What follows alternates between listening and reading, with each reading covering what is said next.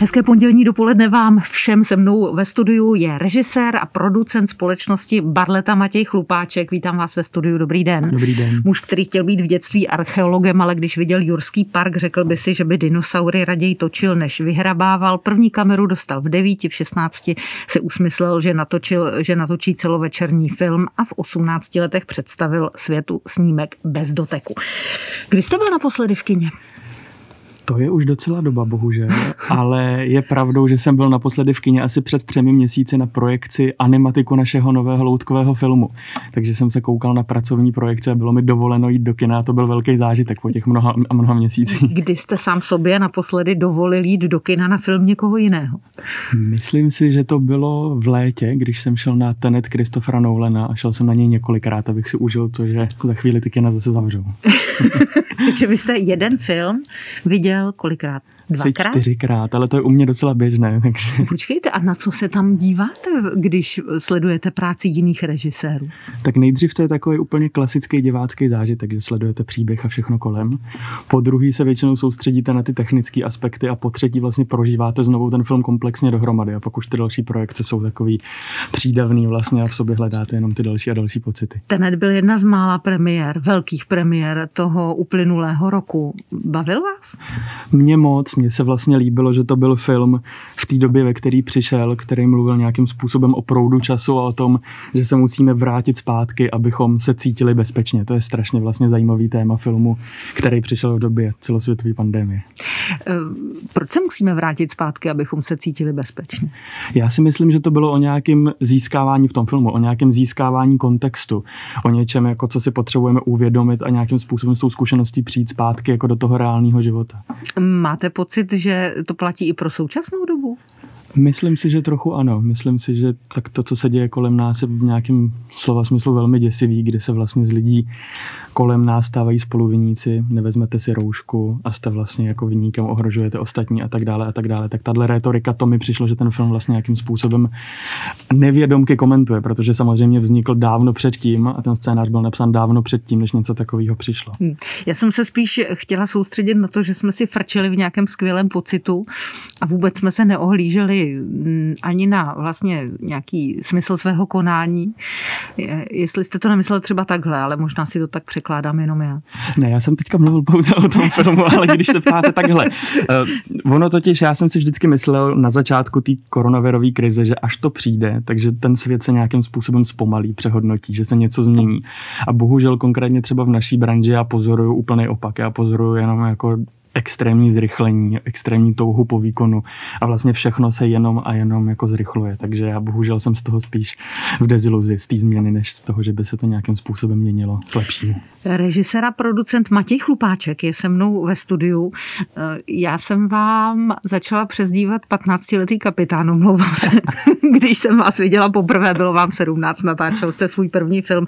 K tomu se dostaneme. Vy jste začal svůj první film natáčet, když vám bylo 17, ano, asi 17. tak zhruba.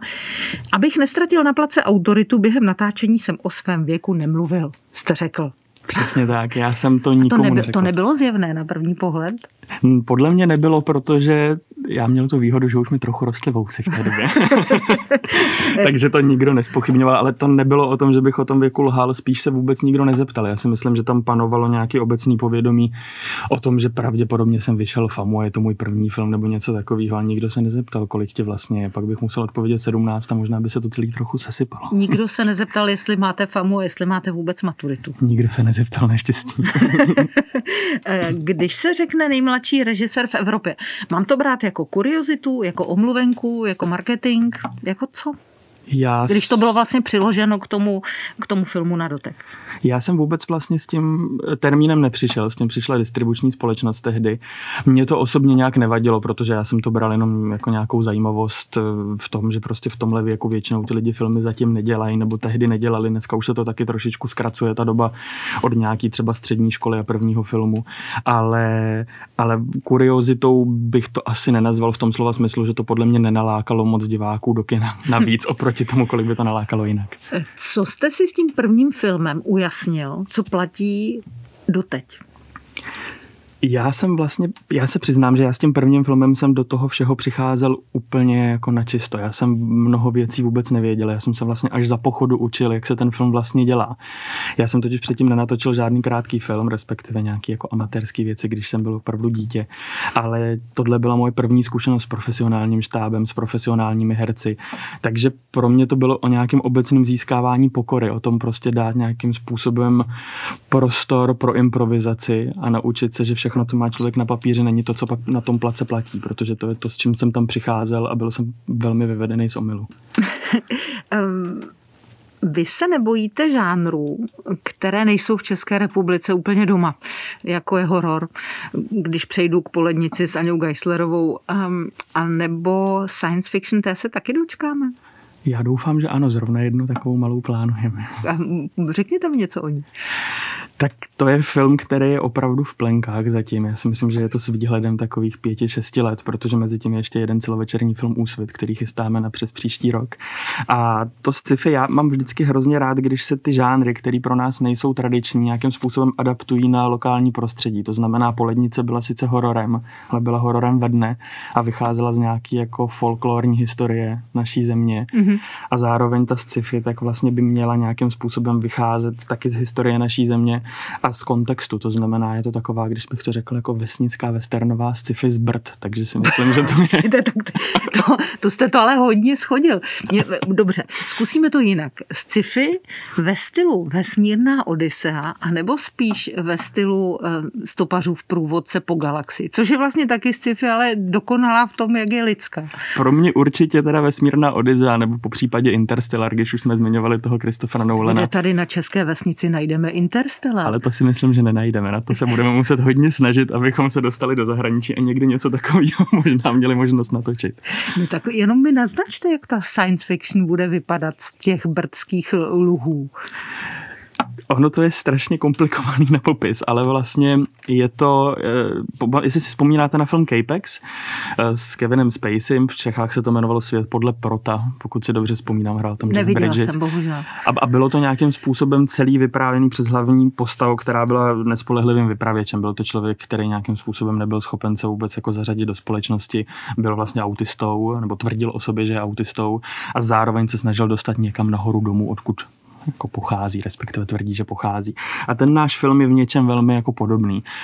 Hlavní postavou je Josef, člověk, který prostě tvrdí, že se narodil ve vesmíru v 70. letech, přestože nikdo o tom nemá žádný záznam a nikdo neví, že by něco takového se skutečně stalo. A v momentě, kdy mu najdou eh, v mozku nádor, tak se rozhodne, že on si prostě ve svý stodole postaví vesmírnou raketou, odletí zpátky do vesmíru tam, kde se narodil.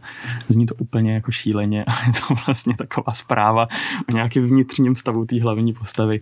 A to, jestli to je pravda nebo není, to už pak na každém z diváků, respektive doufáme, že takhle ten scénář se nakonec vybarví. A čím vás ten žánr science fiction tak přitahuje? Já ho miloval od dětství. Já vlastně jsem jako dítě vyrostl na filmech Stevena Spielberga, který samozřejmě... Blízká setkání třetího druhu. Tam ano, nebo E.T., když jsem byl úplně malý. Jo, to pro mě to byly prostě nádherné věci, nebo i věci, co on produkoval, jako Back to the Future, Roberta Zemekise a tak dále. Takže já k tomu žánru měl vždycky ohromný vztah a zároveň to bylo i v těch devadesátkách, kdy já jsem se narodil, to bylo něco úplně nedosažitelného. Ty filmy tady vůbec nevznikaly. Byl to pořád jako nějaký západ a západní příběhy prostě pro malý kluky, který vzhlíželi k těm hvězdám a chtěli vlastně jako tyhle filmy vidět. Takže pro mě to sci-fi bylo vždycky zakořeněný i v nějaký jako estetice toho filmového vyprávění, takže asi proto. Hmm, ale science fiction se u nás netočí, protože je to drahé, jsem se dozvěděla já. Ono to je taky velmi drahé, to je právě to, o čem mluvím, že v momentě, kdy to nevezmete a neadaptujete to na nějaký lokální jako kontext, tak je to vlastně nenatočitelný. Zároveň my nemáme za sebou žádný jako velký příběhy astronautů. Samozřejmě byly tu, ale, ale není to nic jako z čeho může vzejít větší film, než je třeba prostě First Man, který byl nedávno v kině. Mm-hmm. To, to jsou prostě takové jako limity, které ta Česká republika má a pokud je nevezmeme do hry, tak to ve výsledku může být jenom velmi trapný a nepovedený. Takže nám zbývá jenom dobrá fantazie. Myslím si, že ano. Fascinující pro mě je termín spolurežie. Vy jste si to vyzkoušel se svým kolegou a kamarádem Michalem Samirem hned na druhém filmu. Teď vlastně se o Českého lva uchází i miniserie Zrádci, která je nominována hned ve dvou kategoriích, kde jste zase spolurežíroval s Viktorem Taušem.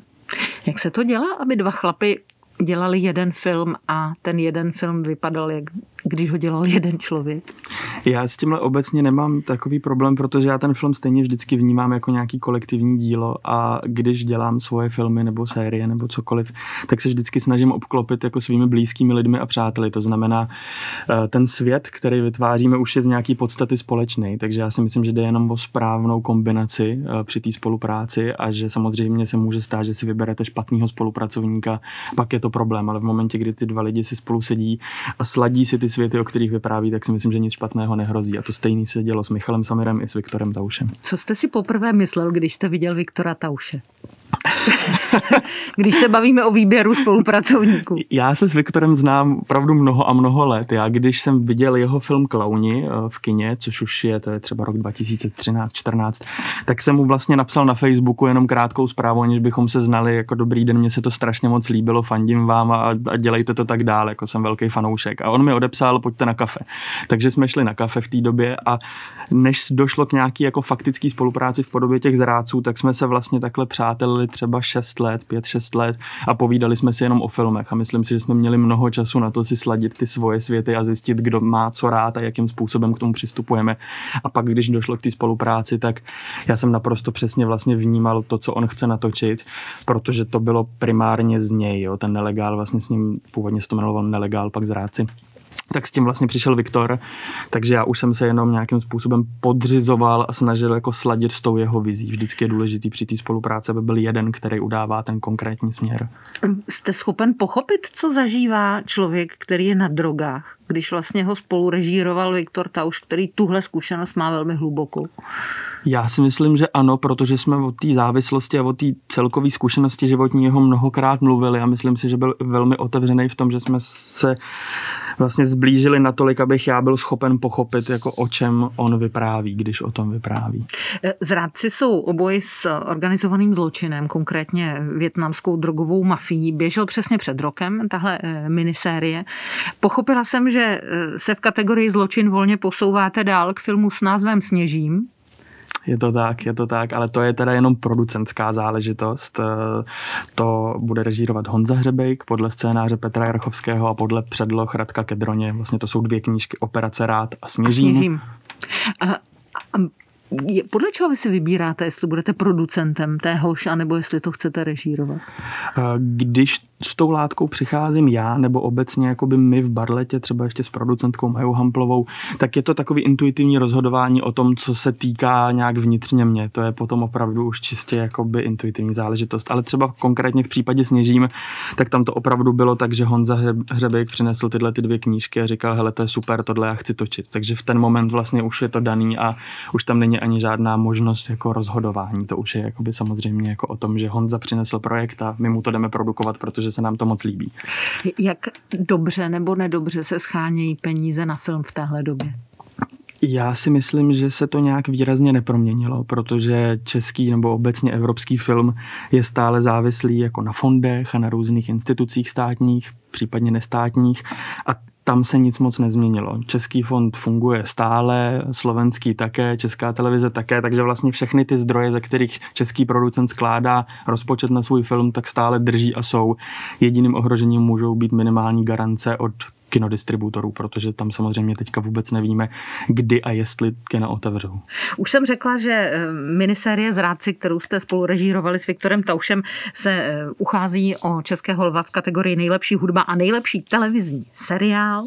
Tak co řeknete, kdybyste to vyhráli? Já rozhodně poděkuju za odvahu České televizi, protože jestli je něco, čeho si na té sérii opravdu vážím, tak je to to, že jsme mohli vlastně přinést něco podle mě úplně nekonvenčního tam, kde to není zvykem. Takže pro mě tohle je ta největší hodnota. Mm-hmm. No takže řeč máte připravenou. Jistě. Dobře, eh, pojďme k něčemu, na co vy osobně se velmi těšíte. Eh, já jsem na to taky zvědavá a to je film Úsvit podle scénáře Mira Šifry, se kterým už jste spolupracoval, o kterém také říkáte, že píše světově, že je to skutečně nadstandardní autor. Eh, jak poznám, co je světové a co je naše domácí? Já to většinou, když čtu scénáře různých autorů, tak já to poznám na základě nějaký jako univerzálnosti, tím nemyslím klasičnosti, ale toho, že to téma je univerzálně srozumitelné pro všechny, kteří čtou. To znamená, když dám scénář úsvitu komukoliv na tomhle světě, téměř komukoliv, tak se vlastně vrátí jakoby se stejnou emocí, pochopí z toho úplně všechny twisty a odejde s nějakou obdobnou katarzí, což si myslím, že je strašně důležitý u scénáře k celovečernímu filmu, který má promlouvat eh, ke 100 tisícům, možná milionům diváků po celém světě. Hmm. Já jsem se dívala na eh, různé vaše výstupy a vy k té světovosti tak nějak směřujete. Dokonce No, protože CVčka jsem našla v angličtině a tak dále, prezentace. Eh, dokonce jsem někde našla i poznámku, že připravujete film v angličtině, ale už jsem nenašla to B. To znamená, jestli se něco děje nebo neděje. Ona to byla teda animovaná minisérie kriminální, kterou jsme začali připravovat eh, právě s Michalem Samerem, s autorem filmu Polednice, s režisérem filmu Hany, který jsme dělali spolu. A to byla taková jako velmi nekonvenční věc, eh, detektivka z Aljašky, která byla dělaná jako takovou 2D ploškovou animací, takže... Češi dělají detektivku z Aljašky. Eh, bylo to vlastně zasazený do Ameriky a celý to bylo v angličtině. Nahrávali jsme to v Londýně, ty voiceovery a tak dále, takže ono to vlastně český bylo jenom v tom tvůrčím týmu a v těch animátorech, protože se to vyrábělo bylo tady na Barandově v studiu PFX. Proč jsem to neviděla? Protože to ještě není venku, protože jsme teprve dodělali pilotní díl a teprve teďka s tím pilotním dílem začínáme obcházet investory a případný streamery, ale samozřejmě jakoby je to velmi těžký a musím říct, že nás v tom čekalo takový jako prozření, že my jsme si mysleli, že uděláme pilotní epizodu, která vlastně jako zafunguje natolik, že se to okamžitě prodá. A malinko jsme podcenili to, že jsme pořád dva kluci z Čech a že proto, aby se něco prodalo, není potřeba jenom dobrý produkt, ale zároveň nějaká jako výraznější pozice na trhu, na který přicházíte. Kolik v tom máte peněz? Hodně. No řekněte to. tak ten pilotní díl stál něco přes 5 milionů korun, který jsme si teda investovali jako sami v tom složení, ve kterém jsme to vyráběli, takže to nebyla malá investice pro 25-minutový pilotní díl. A pro 25-letého režiséra? Ne, vám ještě už bylo? Už mi bylo 26 Aha. Omlouvám se. Matěj Chlupáček, režisér a producent společnosti Barleta je dneska se mnou ve studiu. Jak se vám, Matěj, když se vrátím k vašemu, nebo k vaší přezdívce 15-letý kapitán, eh, jak se vám pracuje v době, kdy vlastně všichni točí? a všichni vysílají. Eh, ta pozornost se neuvěřitelně tříští. Vy jste z toho třeba dokázal vyprofitovat a teď už jste zkušeným autorem a zároveň všichni ostatní prostě se snaží o to tež. Já se teda přiznám, že jsem strašně rád, že jsem nezačal teď, protože ta doba je opravdu pro mě velmi stresující, jako toho kontentu je ohromné množství a nedá se v tom zorientovat. A já jsem dřív byl zvyklý na to, že v uvozovkách vidím všechno, co vyjde. To znamená, měl jsem jako přehled o všech seriálech, filmech, které byly v kině a tak. A dneska už se mi strašně často stává, že se mě někdo ptá, hele, a viděl jsi tam to, viděl z tohle a já to vlastně neviděl. Vím, že to existuje, ale neviděl jsem to. Takže ten stres přemíry toho kontentu, těch tisíce a tisíce postů na Instagramu, eh, to je opravdu jako velmi stresující pro mě. Vrátím se ještě k tomu, že všichni točí a všichni vysílají a toho obsahu je obrovské množství. Pořád jste mi vlastně ještě jako nedokázal odpovědět na to, jak se vyrovnáváte s tou nadprodukcí. Kromě toho, že jste řekl, že to nestíháte, ale mě zajímá, co se děje uvnitř vás, když to vidíte. Tak eh, já jsem se teda už konečně podle mě naučil uh, odhlídnout od toho stresu, že to nestíhám a smířit se s tím, že ne všechno musím vidět. To je jako první krok k tomu se z toho nezhroutit. Uh, ale obecně je velmi těžký se v tom zorientovat i tím tvůrčím způsobem, jo, protože vlastně ta poptávka je ohromná. Podle mě tím budou za chvíli výrazně klesat rozpočty, protože bude potřeba tvořit víc a víc kontentu za méně a méně peněz. A s chodou okolností Variety to teďka krásně schrnul Martin Scorsese, že vlastně jako Netflix, Apple TV, všechny tyhle ty streamovací platformy postupně zabíjí dobré filmy tím, že prostě týdně vydají 7-8 nových sérií a není si pak možno všimnout těch výjimečných věcí, protože se k ním to množství diváků, který by je před deseti lety vidělo, prostě nedostane. Mm-hmm. Mě zajímá, když jsme začali náš roz rozhovor tím, že chodíte hodně do kina, Taneta jste viděl čtyřikrát a tak dále. Když teď vlastně jsme uvězněni na těch platformách, jako je HBO nebo Netflix, tak jestli i tam dáváte filmům, které vás nezaujaly, šanci až do konce. Eh, přiznám se, že už ne. Dřív jsem to dělal, ale vzhledem k tomu, že toho je tolik, tak eh, pak, když mě to nezaujme do nějaký půl hodiny, tak už jdu od toho potom, protože to prostě nejde zvládnout v tom množství. Vždycky je něco, co chci vidět ještě víc v momentě, kdy už mě to nebaví. Ten film jsem třeba v jeho třetině, tak už raději jdu k něčemu, na co se těším dál. Mm-hmm. A proč ty filmy opouštíte většinou? Většinou ten, ten, ten největší pocit je nějaká znalost toho, o čem to vypráví, když to nepřináší vůbec nic nového a to může být třeba skvěle udělaný film. Můžete být konkrétní? Něco, co jste nedávno viděl a nemusí to, nemusíte jmenovat, ale spíš jenom, já si pod tím neumím nic představit. Já jsem nedávno viděl takový český film, který teda z kolegiálních důvodů nebudu jmenovat. Dobře. Je to velmi jako úspěšný film, film s mnoha nominacemi na Českého lva. Letošním ročníku. Ano, a my jsme na něm byli s Majou Hamplou, s producentkou v kině a v polovině jsme se na sebe podívali a říkáme si, tyjo, to jsme viděli tisíckrát, veď pojď, pojď pryč prostě a odešli jsme z toho kina. Dobře, a co jste viděli tisíckrát? Který princip, který příběh? Já si myslím, že tam nejde o ten příběh, ten sám o sobě může být originální a může vyprávět něco, co je zajímavý, ale jakmile to nemá vyšší hodnotu než schrnutí na Wikipedii, tak si myslím, že to vlastně nějakým způsobem nemá hodnotu jako film pro mě osobně. To samozřejmě jsou lidi, kteří mají moc rádi jakoby tyhle ty uh, popisné příběhy, které vás od A do Z provedou jako životem nějaké postavy. Teď se ale... bavíme o šarlatánovi. Ano jsem strašně nechtěl to říct, protože jsem si říkal, hlavně nikoho nepomluv v tomhle rozhovoru. Hlavně nikoho nepomluv. Ne, no tak každý má svůj názor. Ten, navíc šarlatán má mnoho nominací na Českého lva a pravděpodobně některé z nich promění. Takže... A ten film je perfektně udělaný, perfektně natočený, skvěle zahraný. To není vůbec nic vlastně proti řemeslným jako kvalitám toho filmu, ale mě osobně tyto typy filmů prostě už nic moc nepřináší. To já vlastně mnohem víc ocením a víc si užiju krajinu ve stínu Bohdana Slámy, která zase pro mnoho diváků má mnoho chyb, ale mně se na tom prostě strašně líbí nějaká jako odvaha, se kterou on k tomu jde a nějaká proměna stylu, protože vlastně jakoby známe ho jako režiséra sociálních dramat, současných většinou, které je přeneseno teďka do té dobové prostě jako události a mně se to strašně jako líbilo svojí jinakostí. Mohl by mi váš host říci, kolik má tato malá republika několika režisérů, ptá se Miroslav. Zajímavá otázka. Já vlastně, kolik, kolik vás je? Já vůbec nevím a ne, nevím to ani odhadem, ale pravdou je, že vlastně ta dnešní doba přinesla ohromné množství mladých režisérů, ani ne tak ve filmu, protože to pořád jako platí za odvětví, kam je potřeba se nějakým přirozeným způsobem propracovat, ale do reklamy třeba přinesla opravdu jako ohromné množství mladých nových režisérů a každý měsíc přibývají a přibývají, ale zároveň životnost těch, co točili, se jako zkracuje. To je na tom to zajímavé. Hmm. Jedna tu režii potřeba škola? A nebo není? Vy žádnou nemáte, uspěl jste. Já si z principu myslím, že na cokoliv, co člověka baví, není potřeba škola, pakli, že se věnuje té dané věci, té dané problematice sám ve svém volném čase a nějak se sebe vzdělává. Tak vy od deseti let neděláte nic jiného, jsem pochopila. To je pravda. Ale to musíte být velmi inteligentní na to, abyste odkoukal ty finesy jenom z filmu. Nebo jste fakt někdy četl nějaké knihy, publikace, a teď přeskočíme Variety a jiné časopisy.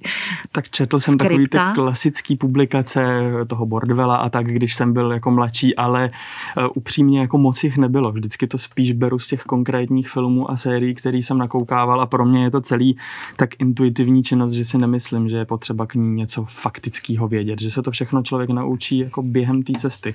Když se podíváte na nějaký film, chodíte nebo chodil jste do kina hodně, máte k tomu poznámky? A nebo to všechno je ve vaší hlavě? Všechno se to pamatuju. Takže prostě víte, kudy ne a víte, co byste třeba rád. Jo, jo, já si myslím, že to k člověku tak nějak jako přirozeně promlouvá a nikdy si nic nepíšu. E, maximálně, když se připravu na nějaký svůj konkrétní film, tak si samozřejmě tvořím moodboardy, píšu si poznámky pro režijní explikace, ale, ale v rámci těch filmů, který nakoukávám, ne, to si všechno pamatuju. Už ten váš první film byl jiný. Film, který jste produkoval jako první Hany e, s vaším již zmíněným kolegou, byl taky jiný. Mm, máte potřebu panku? Velkou.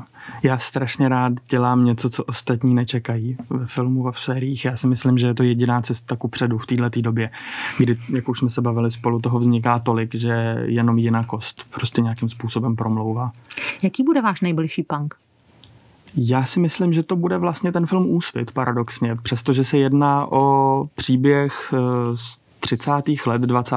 století, tak my se ho s kameramanem Martinem Doubou a producentkou Majou a scénáristou Mirejou, my se opravdu jako snažíme to udělat úplně moderně tím nemyslím uh, současný kostýmy a současná hudba, jak už bylo mnohokrát udělaný, ale v nějakém jako vyprávění, v nějakém přístupu k postavám snažíme se, aby to opravdu bylo co nejvíce současný, a přestože je to dobový, tak aby to promlouvalo k současným divákům. Mm-hmm. Otázka z, od našich posluchačů. Pan Hadlík píše, Neuvažoval jste někdy o znovu natočení Zemanova filmu Cesta do pravěku s moderními efekty a novými herci? Třeba něco pozměnit, přidat podle současných možností a vědomostí? No to je teda samozřejmě velmi lákavá představa a já Cestu do pravěku absolutně miluju a zbožňuju, ale ten film je natolik dokonalej a tak podle mě spoléhá na divákovou fantazii skrze výtvarnou stránku, kterou ten Zeman používal, že si myslím, že to není vůbec potřeba a udělal to už Steven Spielberg pro to masové publikum současné současných filmů. Pan Grigera se vás ptá na váš názor na sfilmování knihy Kosmonaut z Čech. Jestli by něco takového bylo možné i u nás. Myslím, že autor tady před dvěma lety seděl. Tak ono tu knihu koupilo americké studio a hraje v tom Adam Sandler, takže to už jsme prokaučovali, tohle to možnost. už jsme úplně jako v jiných dimenzích finančních. A bavilo by vás to točit? Moc. Já jsem teda četl jenom anotaci, já jsem nečetl tu knihu, ale znělo to strašně zajímavě a sám jsem měl touhu autorovi napsat, ale pak jsem se velmi záhy dozvěděl, že už to koupilo studio Adama Sandlera a že on v tom sám bude hrát hlavní že, roli. Že už jste druhý druhý. Režisér a producent Matěj Chlupáček byl hostem radiožurnálu. Eh, tak děkuji za návštěvu ve studiu. Přeju vám, eh, ať se vám a vašim kolegům v produkčním studiu daří. Mimochodem Barleta, to je kromě teda malého města někde v Apulii, co to ještě znamená? Jenom to malé město v Apulii. Proč je tak důležité pro Čechy malé město v Apulii? To byla úplná náhoda a schoda okolností. My, když jsme začínali dělat bez doteku, v té absolutní neskušenosti jsme potřebovali rychle založit nějakou uh, firmu, která ten film vyrobí. A protože v té době nebylo ještě tak jednoduché zakládat firmy, z ničeho nic ze dne na den museli jsme si vlastně vzít firmu, která už existovala a ta se jmenovala Barleta. Jsme to jméno chtěli mnohokrát změnit, ale skrze tu bizarnost jsme se rozhodli, že to vlastně už zůstane s námi navždycky. Matěj Chlup Šupáček. Děkuji vám moc krát. Já děkuji. Lucie Výborná od mikrofonu přeje hezký den, ať se vám dnes daří.